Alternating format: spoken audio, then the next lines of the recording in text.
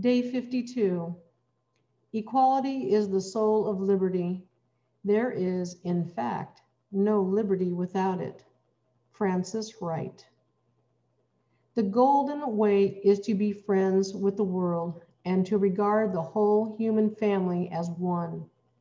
He who distinguishes between the votaries of one's own religion and those of another miseducates the members of his own and opens the way for discord and irreligion.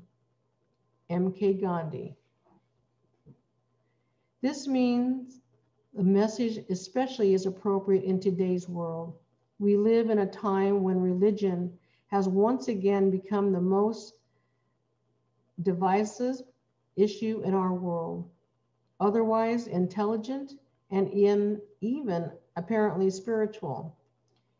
People demonize other religions.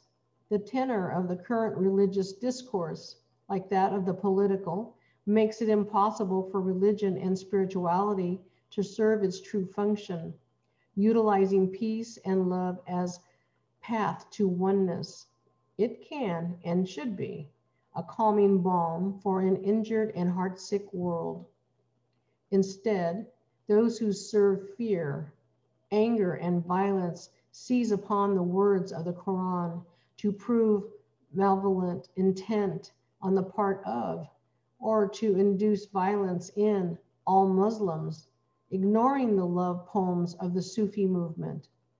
In the same way, the words of the Old Testament of the Christian Bible are used to justify an eye for an eye, ignoring the words of peace and forgiveness taught by the central figure in that religion, Jesus.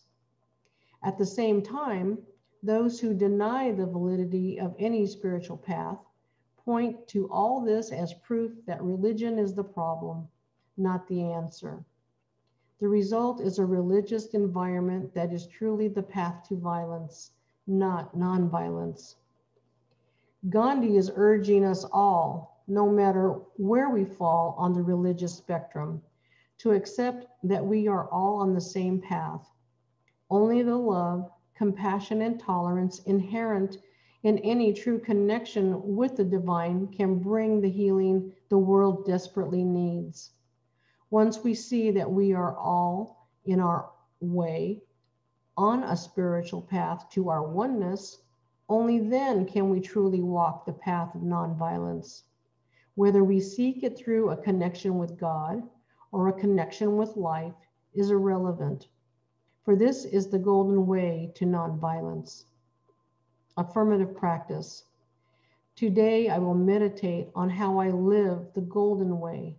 Today, I will see how my spiritual path, whatever it may be, can contribute to love, peace, and nonviolence in the world.